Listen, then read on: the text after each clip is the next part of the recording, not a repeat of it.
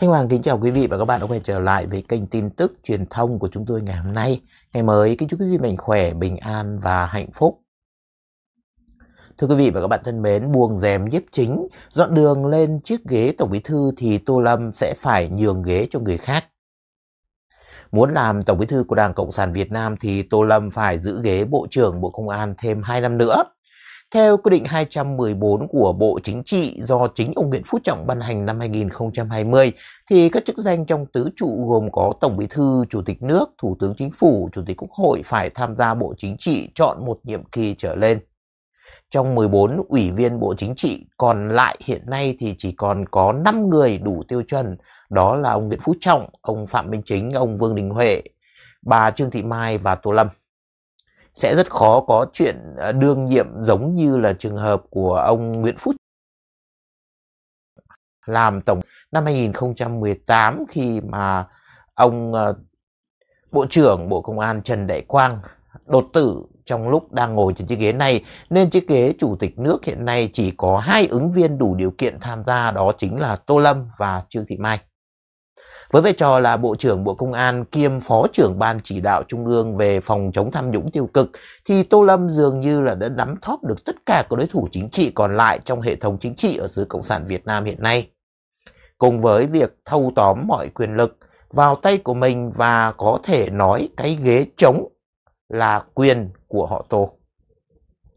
Chủ tịch nước chỉ là một chức vụ mang tính hình thức chứ không nắm nhiều thực quyền và đặc biệt là có thể bị phế chuất bất cứ lúc nào giống như là Nguyễn Xuân Phúc hay là Võ Văn Thưởng thời gian vừa qua. ở trong cái đó thì Tổng Bí thư là một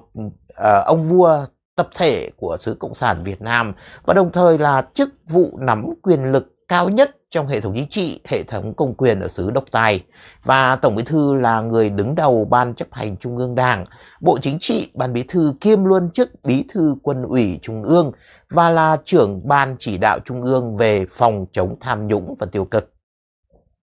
Cũng theo quy định 214 của Bộ Chính trị, Tổng Bí thư phải là người tiêu biểu nhất về đạo đức, trí tuệ của toàn đảng và việc làm à, đầu đảng thì sẽ giúp cho Tô Lâm tha hồ mà à, thuyết giảng trí tuệ và đạo đức với thuộc cấp. Với tham vọng không ngồi ghế tổng bí thư nữa thì Tô Lâm phải là số 1.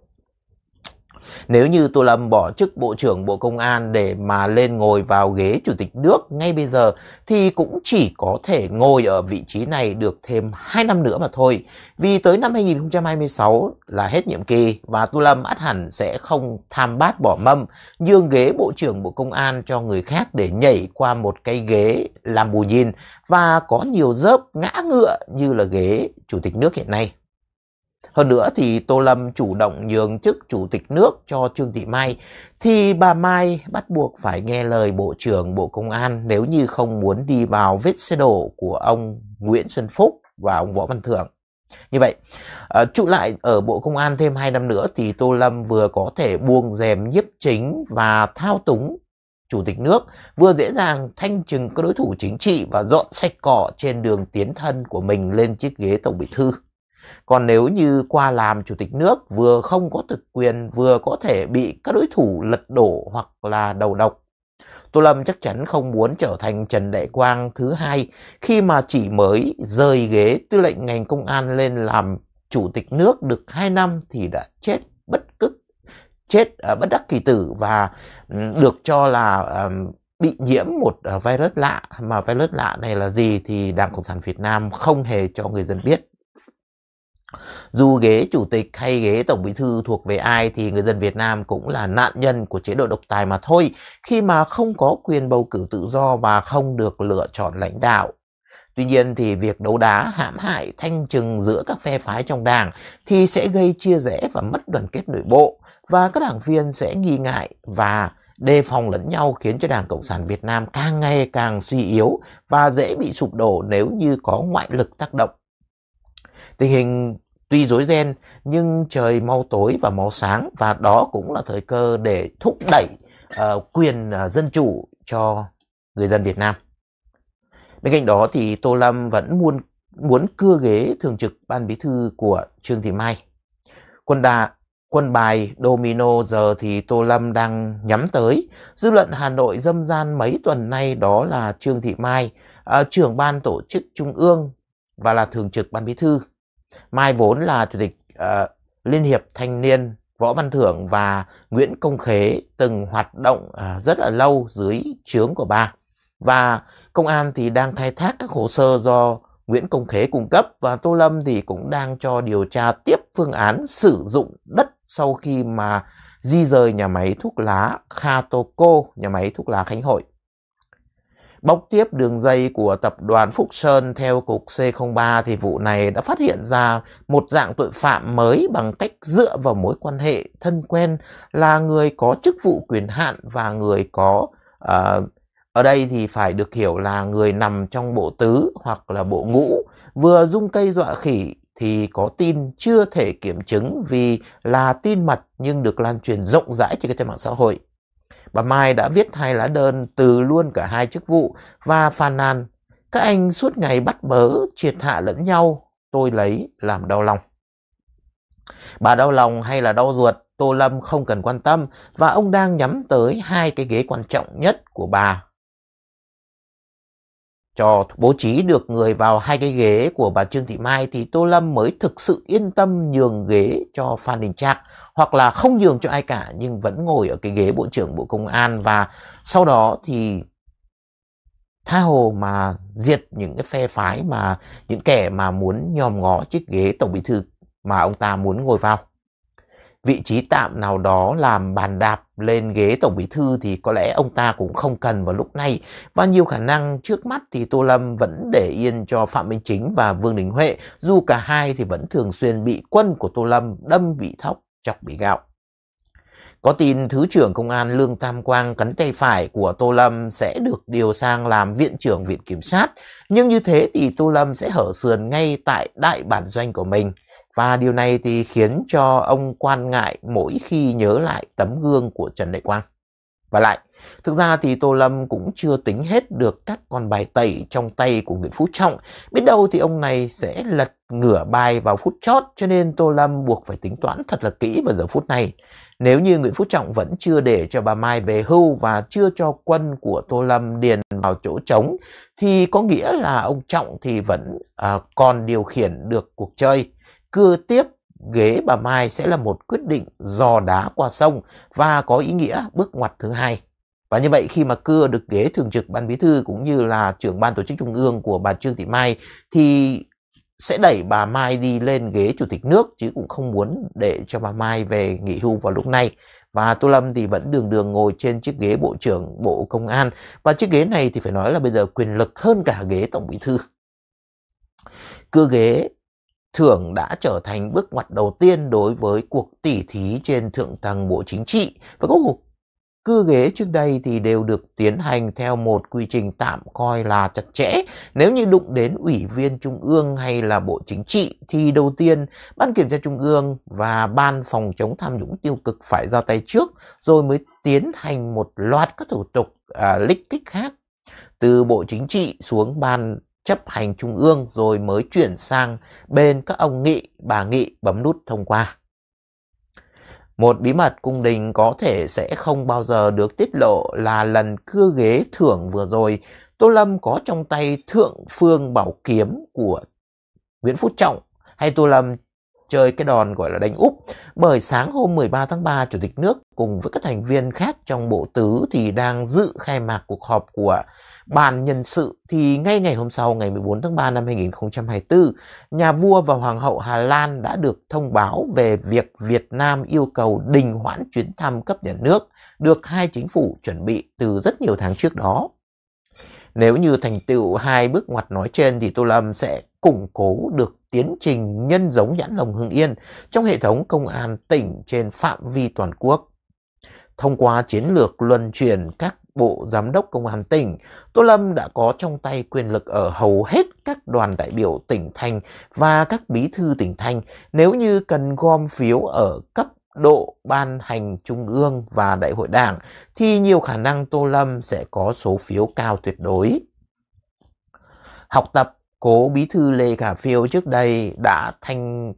hóa hóa bộ máy nhân sự của Đảng. Nay thì Tô Lâm cũng từng bước đi tiếp trên con đường hưng yên hóa guồng máy an ninh ở trên khắp đất nước quằn quại đau thương hình chữ S. Và đây là những anten vô cùng lợi hại đối với Bộ trưởng Công an trong việc bắt thóp những bộ đôi hoàn hảo, gồm các bí thư và chủ tịch các tỉnh ở tất cả các địa phương trong việc ăn của dân không chừa một thứ gì. Như tổng kết của Phó Chủ tịch nước Nguyễn Thị Doan.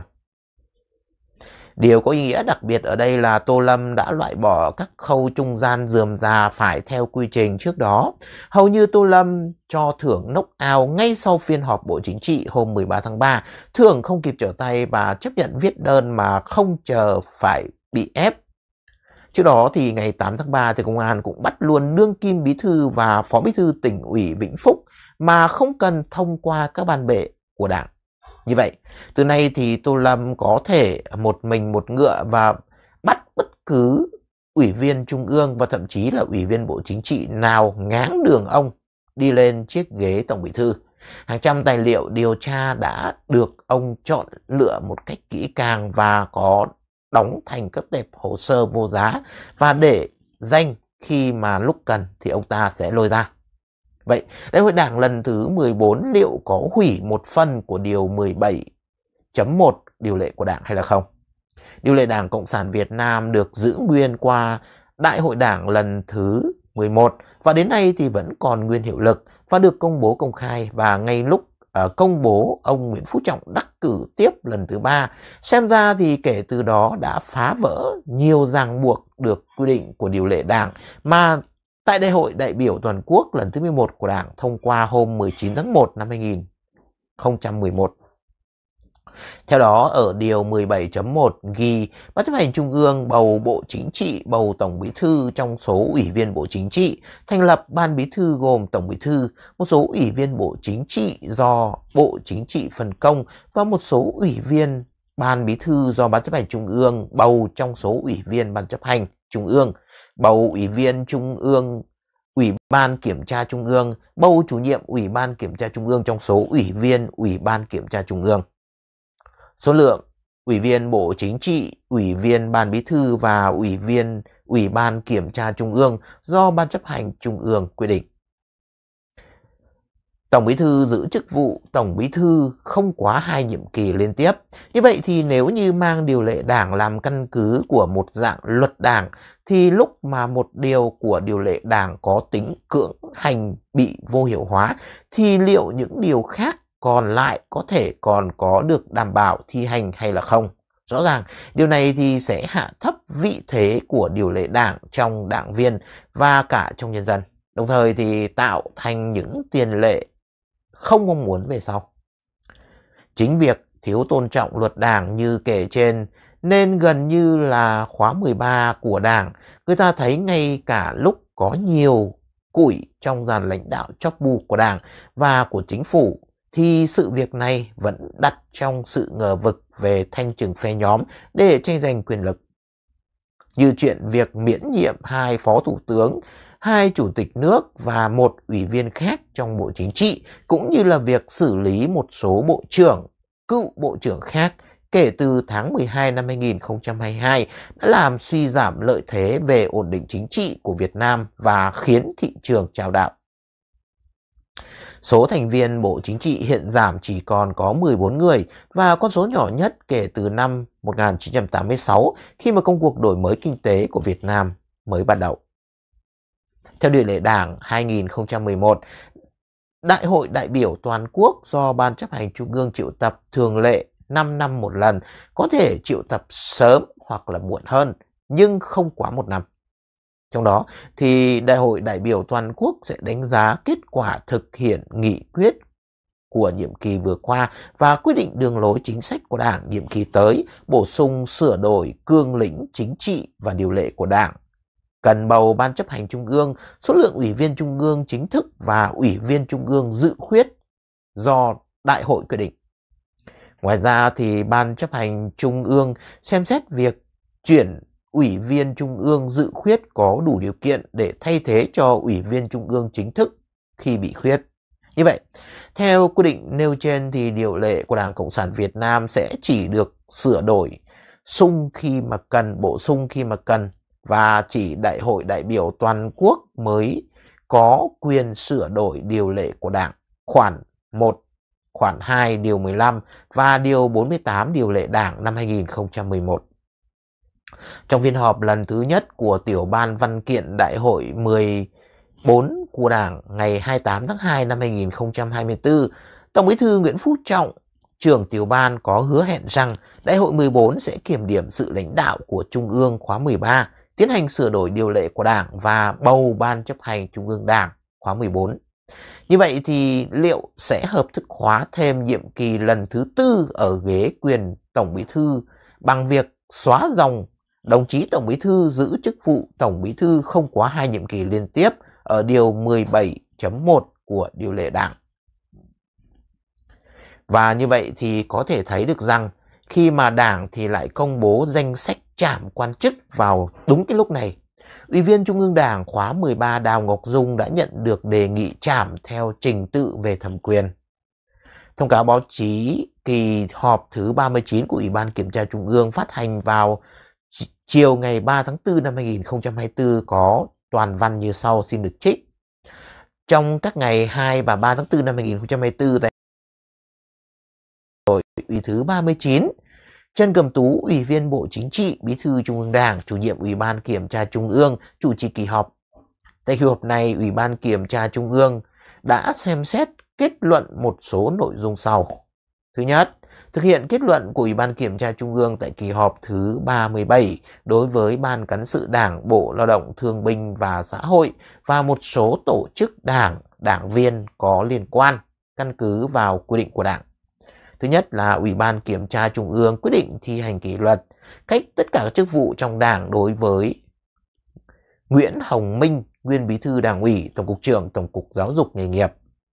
Cảnh cáo Đảng ủy Tổng cục dạy nghề nhiệm kỳ 2010-2015, Đảng ủy Tổng cục Giáo dục nghề nghiệp 2015-2020 và các ông Nguyễn Ngọc Phi, nguyên ủy viên Ban cán sự Đảng, Thứ trưởng, Dương Đức Lân, nguyên bí thư Đảng ủy, Tổng cục trưởng Tổng cục Giáo dục nghề nghiệp, Phạm Quang Phụng, Bí thư tri bộ, vụ trưởng vụ kế hoạch tài chính, Bộ Lao động, Thương binh và Xã hội. Khiển trách Ban Thường vụ Đảng ủy Bộ Lao động, Thương binh và Xã hội nhiệm kỳ 2015-2020 và các ông Trương Anh Dũng, Bí thư Đảng ủy, Tổng cục trưởng Tổng cục Giáo dục nghề nghiệp. Thứ hai là Ủy ban Kiểm tra Trung ương đề nghị Bộ Chính trị, Ban Bí thư xem xét thi hành kỷ luật Ban Cán sự Đảng, Bộ Lao động, Thương binh và Xã hội các nhiệm kỳ 2011-2016, 2016-2021 và các ông Đào Ngọc Dung, Ủy viên Ban chấp hành Trung ương Đảng, Bí thư Ban Cán sự Đảng, Bộ trưởng Phạm Thị Hải Truyền, nguyên Ủy viên Ban chấp hành Trung ương Đảng, Bí thư Ban Cán sự Đảng, Bộ trưởng Huỳnh Văn Tý, nguyên Ủy viên Ban chấp hành Trung ương Đảng, Ủy viên Ban Cán sự Đảng, Thứ trưởng Bộ Lao động Thương binh và Xã hội. Thực hiện kết luận của Ủy ban Kiểm tra Trung ương tại kỳ họp thứ 37 đối với Ban Cán sự Đảng, Tòa án Nhân dân tỉnh Con Tum và một số tổ chức đảng có liên quan và căn cứ quy định của Đảng, Ủy ban Kiểm tra Trung ương đã quyết định cảnh cáo Ban Cán sự Tòa án Nhân dân tỉnh Con Tum nhiệm kỳ 2020-2025 và Đỗ Thị Kim Thư, Bí thư Ban Cán sự Đảng, tranh án Tòa án Nhân dân tỉnh Con Tum. Khiển trách Nguyễn Tiến Năng, Ủy viên Ban Cán sự Đảng, Phó Tránh án Tòa án Nhân dân tỉnh Con Tum. Xem xét báo cáo đề nghị thi hành kỷ luật một số đảng viên vi phạm tại đảng bộ các tỉnh như là Quảng Ngãi, Vĩnh Phúc, Đắk lắc Bình Phước. Ủy ban Kiểm tra Trung ương nhận thấy Lê Viết Chữ, nguyên ủy viên Trung ương Đảng, bí thư tỉnh ủy, bí thư ban cán sự Đảng, chủ tịch ủy ban dân tỉnh Quảng Ngãi, Phạm Hoàng Anh, phó bí thư thường trực tỉnh ủy Vĩnh Phúc, Doãn Hữu Long, nguyên tỉnh ủy viên bí thư Đảng ủy, giám đốc Sở Y tế tỉnh Đắk Lắk, Đặng Gia Dũng, nguyên tỉnh ủy viên, bí thư Đảng ủy, giám đốc Sở Xây dựng tỉnh Đắk Nông đã suy thoái về tư tưởng chính trị, đạo đức lối sống, vi phạm nghiêm trọng quy định của Đảng, pháp luật của nhà nước trong thực hiện chức trách nhiệm vụ được giao trong phòng chống tham nhũng tiêu cực, vi phạm các quy định những điều đảng viên không được làm và trách nhiệm nêu gương gây hậu quả rất nghiêm trọng, dư luận bức xúc ảnh hưởng xấu đến uy tín của tổ chức đảng, mặc dù thì cái tổ chức đảng này chẳng có tí uy tín nào cả. Mà Lý Phước, tỉnh ủy viên, phó trưởng ban thường trực Ban dân vận tỉnh ủy Bình Phước đã suy thoái về tư tưởng chính trị, đạo đức lối sống, vi phạm nghiêm trọng luật giao thông, luật phòng chống tắc hại rượu bia, vi phạm quy định những điều đảng viên không được làm và trách nhiệm nêu gương, gây hậu quả nghiêm trọng, ảnh hưởng xấu đến uy tín tổ chức của đảng, đơn vị công tác đến mức phải xem xét thi hành kỷ luật. Căn cứ quy định Đảng, Ủy ban Kiểm tra Trung ương đề nghị Bộ Chính trị, Ban Bí thư xem xét thi hành kỷ luật Lê Viết Chữ, Phạm Hoàng Anh, Doãn Hữu Long, Đặng Gia Dũng, Ma Ly Phước. Xem xét kết quả điều tra việc thực hiện nhiệm vụ kiểm tra giám sát thi hành kỷ luật trong Đảng đối với Ban Thường vụ và Ủy ban Kiểm tra tỉnh ủy, Thành ủy, Ủy ban Kiểm tra kê khai tài sản, thu nhập đối với các ông Thường trực tỉnh ủy Cao Bằng, thành ủy viên Cần Thơ, Ủy ban Kiểm tra Trung ương nhận thấy bên cạnh những ưu điểm là cơ bản thì các tổ chức đảng viên thì vẫn được kiểm tra còn có một số vi phạm khuyết điểm trong lãnh đạo chỉ đạo, tổ chức thực hiện nhiệm vụ kiểm tra giám sát, thi hành kỷ luật đảng trong quản lý sử dụng tài chính, tài sản của đảng, việc kê khai tài sản thu nhập. Ủy ban Kiểm tra Trung ương yêu cầu các tổ chức đảng và đảng viên được kiểm tra phát huy ưu điểm, nghiêm túc, kiểm điểm, rút kinh nghiệm, khắc phục kịp thời những vi phạm khuyết điểm đã được chỉ ra. Xem xét kết quả giám sát với Ban Thường vụ tỉnh ủy, Thường trực Ủy ban tỉnh Quảng Trị, Ủy ban Kiểm tra Trung ương cũng yêu cầu tỉnh này phải xử lý kỷ luật Thường trực tỉnh ủy Quảng Trị và cũng tại kỳ họp này thì Ủy ban Kiểm tra Trung ương đã xem xét kết luận một số nội dung quan trọng. Như vậy thì về quy trình cho thấy Đảng lại sắp khuyết thêm một số vị trí Ủy viên Trung ương Đảng ở khóa 13 này. Và tình hình từ nay cho đến năm 2026 thì chắc chắn Tô Lâm sẽ còn khui ra rất nhiều sai phạm từ trung ương cho đến địa phương để mà xóa sổ càng nhiều những đối thủ cạnh tranh chiếc ghế tổng bí thư mà ông ta đang nhắm tới thì càng ngày càng rực lửa hơn. Và hiện nay thì Nguyễn Phú Trọng sức khỏe rất là yếu và cái khả năng để mà bảo vệ tay chân thân tín của mình hầu như là đang bị đuối trước Tô Lâm, một kẻ đang nắm quyền lực cực kỳ mạnh hiện nay ở Bộ Chính trị. Xin thành cảm ơn thời gian theo dõi của quý vị và các bạn đã dành thời gian theo dõi chương trình của chúng tôi đến phút cuối. Hãy để lại những lời bình luận góp ý ở bên dưới video để giúp cho chúng tôi thực hiện các chương trình kế tiếp một cách tốt hơn. Hãy bấm nút chia sẻ để thông tin được lan tỏa đến với nhiều người hơn. Hãy bấm nút đăng ký để trở thành thành viên tích cực của kênh. Và đừng quên bấm vào hình cái chuông bên cạnh nút đăng ký để nhận được những thông báo nhanh nhất, sớm nhất và không bỏ lỡ bất cứ một chương trình nào mà chúng tôi sẽ phát hành. Xin thành cảm ơn và hẹn gặp lại quý vị và các bạn trong các chương trình kế tiếp của chúng tôi.